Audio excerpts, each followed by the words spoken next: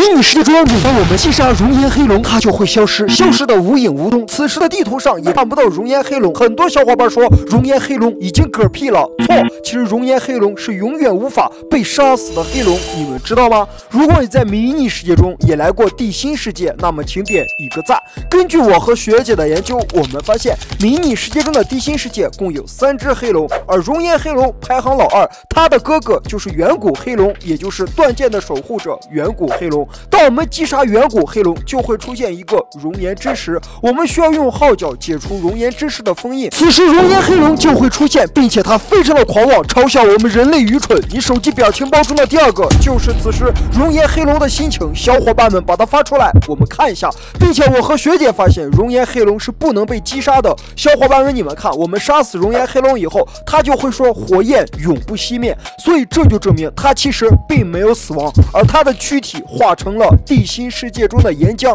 而地心世界中的岩浆其实就是火焰，也就是熔岩黑龙这个 BOSS 躯体所化成的。所以迷你世界中的熔岩黑龙，它是无法被杀死的黑龙，你们知道了吗？